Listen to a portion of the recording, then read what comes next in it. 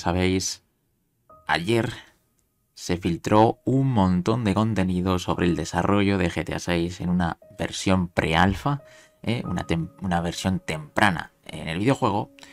Y hoy Rockstar ha salido y ha dejado un comunicado hablando sobre el tema. Por lo tanto, confirman de que todo lo que hemos visto es real y que forma parte de la etapa temprana en el desarrollo de este videojuego que ya sabemos que está en desarrollo.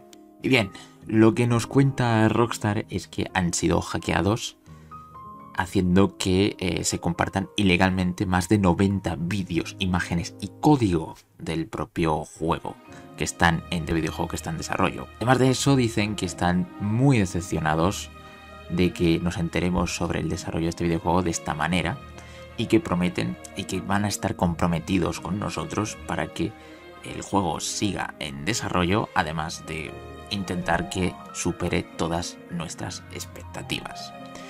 Además de eso, dicen que actualizarán la información pronto, cuando estén listos y así poder mostrar realmente en qué etapa está el videojuego. Y poco más, dicen que también que no han visto que se, que se vean afectados los servicios online, sentido del GTA Online, y que no ven que vayan a repercutir en, los proyectos que tienen en desarrollo, ¿vale? En el plazo en el que están desarrollando los proyectos de GTA Online y del nuevo videojuego. Por lo tanto, todo lo que vimos ayer, todo lo que se ha filtrado, es real y, y nada, simplemente hay que esperar a que esto pues lo actualicen y nos muestren realmente cómo está el videojuego con un tráiler, teaser, lo que sea, y cómo realmente se va a llamar, porque tampoco sabe cómo se va a llamar. Proyecto Américas, podría llamar GTA Américas perfectamente, en vez de llamarlo GTA 6. Bueno, esto es lo que hay. El hacker la ha liado muy fuerte,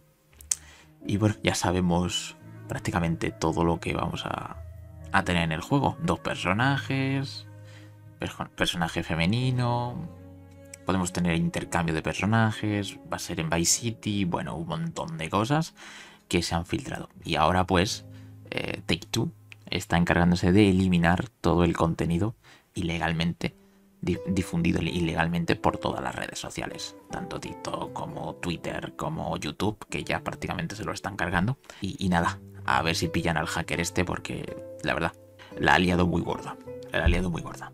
Es una pena porque esto rompe la, sorpresa que nos iban a dar posiblemente en un mes o en dos meses. Es una pena muy grande. Y bueno, pues ya no se puede decir nada más. Ellos mismos dicen que, está eh, que eso que se ha filtrado es de una etapa temprana del videojuego. Por lo tanto, no se puede criticar. Como ya digo, el que critica eso es que no tiene ni puñetera idea de videojuegos.